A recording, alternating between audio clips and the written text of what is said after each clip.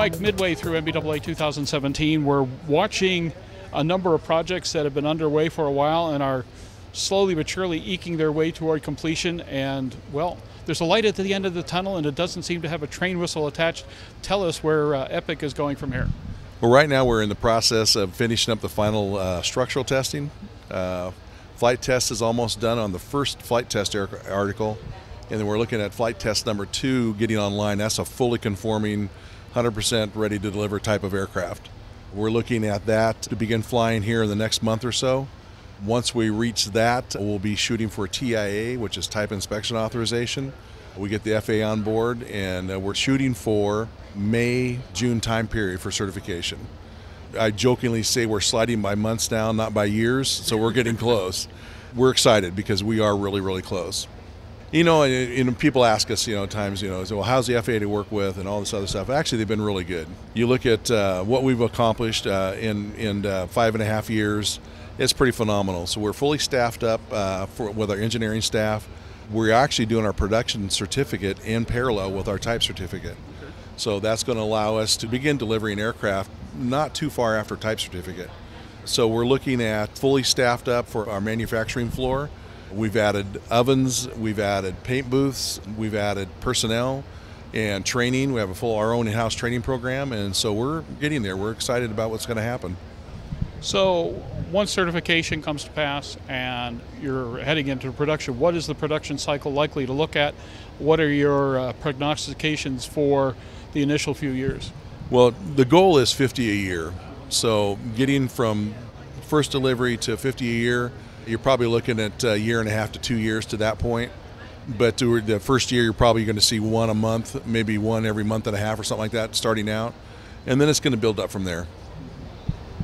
What kind of person right now is part of the EPIC program?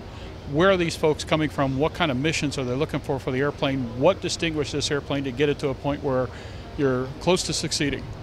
Well, one of the advantages we've had, this aircraft started out 10 years ago as a, a customer assist build program at our facility. So it's in, all the ones that you see flying right now are Epic LTs.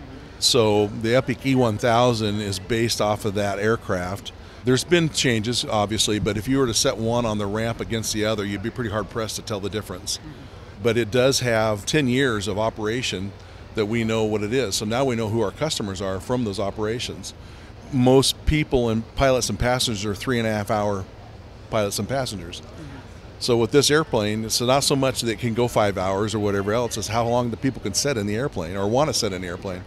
So if three and a half hours, this airplane will get you from either coast to mid-continent, or if you're mid-continent, just about anywhere in the U.S. in three and a half hours.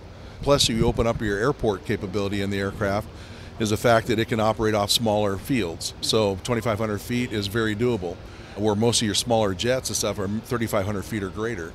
So now you have these manufacturing facilities around the country that are maybe in some obscure town or whatever. They can get to those places very easily without going to a major metropolitan airport.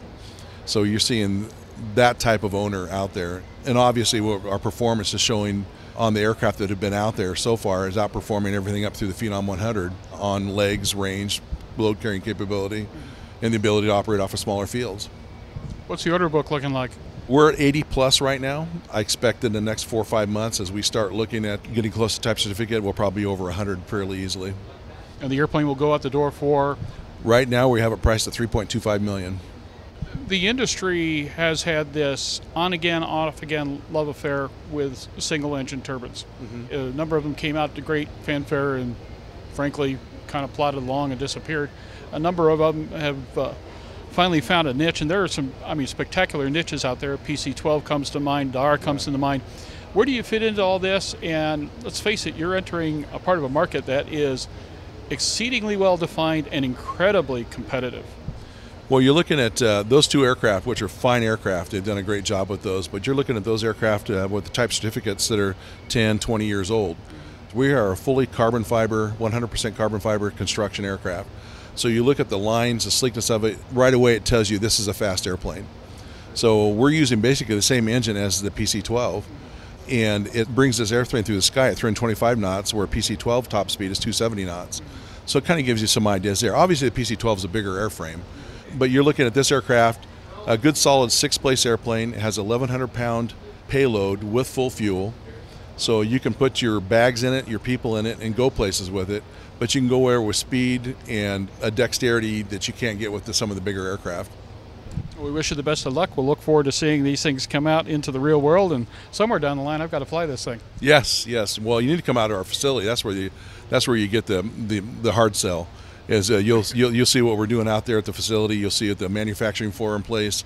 You'll see pe- people actually building conforming parts and inventorying them, and uh, so we we're we're on our way.